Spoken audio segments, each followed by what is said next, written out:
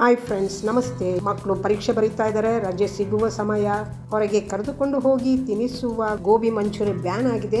ಇನ್ನೇನೇನೋ ban ಮಾಡ್ತವ ಸರ್ಕಾರ ನೋಡ್ಬೇಕು. ನನಗೊಬ್ರು ಮೇಡಮ್ ಸ್ನಾಕ್ಸ್ ರೆಸಿಪಿಗಳನ್ನು ಮಾಡಿ ತೋರಿಸಿ ಅಂದ್ರು. ಸಮಯನೇ ಸಾಕಾಗಲ್ಲ. ಅದಕ್ಕಾಗಿಯೇ ವೆರಿ ಸಿಂಪಲ್ ಎರಡೇ ಎರಡು ಮುಖ್ಯ ವಸ್ತುಗಳನ್ನು ಬಳಸಿ ಮಾಡುವ ಮೂರು ಐಟಮ್ಸ್ಗಳನ್ನು ತೋರಿಸ್ತೀನಿ. ಬನ್ನಿ. ಇಪ್ಪತ್ತೈದು ಇಡ್ಲಿಗಳಿವೆ. ಮೊದಲು ಮಿಕ್ಸಿಯಲ್ಲಿ ಹಿಡಿಸುವಷ್ಟು ಇಡ್ಲಿಗಳನ್ನ ಪುಡಿ ಮಾಡ್ತೀನಿ. ನಂತರ ಸ್ವಲ್ಪ ನೀರು ಸೇರಿಸಿ ಎರಡು ಸಲ ಮಿಕ್ಸಿಯನ್ನು ಗ್ರ ಗ್ರ ಅಂತ ತಿರುಗಿಸ್ತೀನಿ. ರವೆ ರವೆಯಾಗಿ ಇರುವ ಹಿಟ್ಟನ್ನು ಮೆದು ಮಾಡಿದ್ದೀನಿ.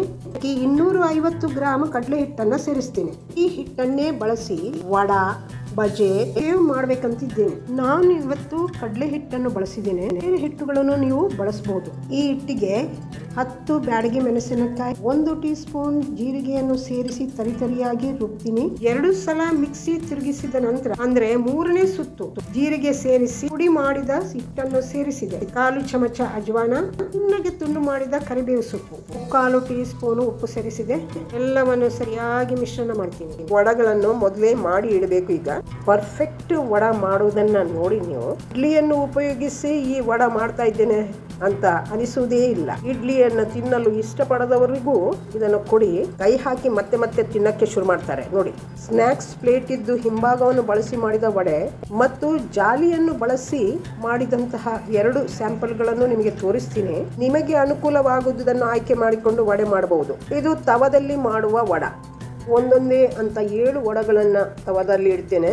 ಮೊದಲು ಹೆಚ್ಚು ಉರಿಯಲ್ಲಿ ಇಟ್ಟ ಬೆಂಕಿಯನ್ನು ಮಧ್ಯಮ ಬೆಂಕಿಯಲ್ಲಿ ಇಟ್ಟಿದ್ದೇನೆ. ಎಲ್ಲಾ ವಡೆಗಳನ್ನು ಒಮ್ಮೆ ತಿರುವಿದ ನಂತರ ಮತ್ತೆ ಎರಡು ನಿಮಿಷದ ನಂತರ ವಡೆಗಳನ್ನ ತಿರುವುತ್ತೇನೆ. ಬೆಂಕಿಯ ಉರಿಯನ್ನು ಕನಿಷ್ಠಕ್ಕೆ ತಂದಿರ್ತೇನೆ ಮತ್ತೆ ಎರಡೆರಡು ನಿಮಿಷ ಎರಡೂ ಬದಿಗಳು ಫ್ರೈ ಆಗ್ಲಿಕ್ಕೆ ಬಿಡ್ತೇನೆ. ವಡಗಳು ಸೂಪರ್ ಆಗಿ ಕಾಣ್ತಿವೆಯಲ್ಲ? ನಮ್ಮ ಗಮನ ಬೆಂಕಿ ಮತ್ತು ವಡಗಳ ಮೇಲೆನೆ ಇರಬೇಕು. ಹೆಚ್ಚು ರೋಸ್ಟ್ ಆಗುವುದನ್ನು ತಡಿಬೇಕು. ವಡಗಳು ತಯಾರಾಗಿವೆ, ತೆಗಿತೇವೆ. ಸ್ವಲ್ಪ ಎಣ್ಣೆ ಹಾಕಿದ್ದೆ, ಇನ್ನೂ ಎಣ್ಣೆ ತವದಲ್ಲಿ ಹಾಗೆ ಉಳಿದಿದೆ. ಉಳಿದ ಎಣ್ಣೆಯಲ್ಲೇ ಮತ್ತೊಂದು ಸಲ ವಡ ಮಾಡಿ ಮುಗಿಸ್ತೇನೆ.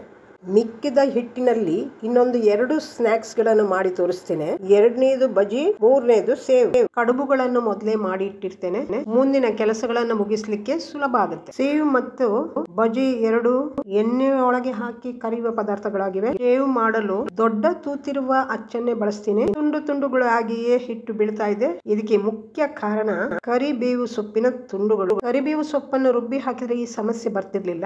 ನೀವು ಮಾಡುವಾಗ ಈ ತಪ್ಪನ್ನ ತಪ್ಪಿಸಬಹುದು. ಎರಡೇ ವಸ್ತುಗಳನ್ನ ಬಳಸಿ ಮೂರು ಐಟಮ್ಗಳನ್ನ ಮಾಡುವ ಮತ್ತೊಂದು ಕಾರಣ ಯಾವ ಐಟಮ್ಗಳಿಗೆ ಹೆಚ್ಚು ಎಣ್ಣೆ ಬಳಕೆ ಆಗ್ತದೆ ಅಂತ ನೋಡಲು. ಅರ್ಧ ಲೀಟರ್ಗಿಂತ ಸ್ವಲ್ಪ ಹೆಚ್ಚು ಎಣ್ಣೆಯನ್ನ ಹಾಕಿದ್ದೆ. ಬಜೆಗಳನ್ನು ಮಾಡಲು ಶುರು ಮಾಡಿದ್ದೇನೆ ಅಷ್ಟೇ. ಚಿಕ್ಕ ಬಜೆಗಳನ್ನು ಎಣ್ಣೆಯಲ್ಲಿ ಬಿಡ್ತೀನಿ. ಮಧ್ಯಮ ಉರಿಯಲ್ಲಿ ಬೆಂಕಿ ಇಟ್ಟಿದ್ದೇನೆ ನಾಲ್ಕು ನಾಲ್ಕು ನಿಮಿಷ ಬಜೆಯನ್ನು ಒಂದೊಂದು ಬದಿಯಲ್ಲಿ ಉರಿದು ಮುಗಿಸ್ತಾ ಇದ್ದರೆ ಬಜೆಗಳು ತಯಾರಿ. ಒಟ್ಟು ಹಿಟ್ಟಿನಲ್ಲಿ ಅರ್ಧ ಪ್ರಮಾಣವನ್ನು ಮಾತ್ರ ಮೊದಲಿನ ವಡೆಗೆ ಬಳಸಿದ್ದೆ. ಮಿಕ್ಕಿದ ಹಿಟ್ಟನ್ನು ಸೇವು ಮತ್ತು ಪಕೋಡಕ್ಕೆ ಬಳಸಿದ್ದೇನೆ. ಎರಡು ಮತ್ತು ಮೂರನೇ ಐಟಮ್ಗಳು ಹೆಚ್ಚು ಎಣ್ಣೆಯನ್ನು ಹೀರಿಕೊಂಡಿವೆ. ಅದರಿಂದ ನಿಮ್ಮ ಆರೋಗ್ಯಕ್ಕೆ ಯಾವ ಐಟಮ್ ಸೂಕ್ತ ಎಂದು ನೀವೇ ನಿರ್ಣಯ ತೆಗೆದುಕೊಳ್ಳಿ. ವಡೆಯನ್ನು ನಾಷ್ಟಕ್ಕೂ ಬಳಸಬಹುದು, ಸ್ನಾಕ್ಸ್ ಆಗಿಯೂ ತಿನ್ಬಹುದು. ನೀವು ಹೇಗೋ ಬೇಕೋ ಹಾಗೆ ಬಳಸಬಹುದು. ಮುಂದೆ ಭೇಟಿಯಾಗೋಣ. ಬಾ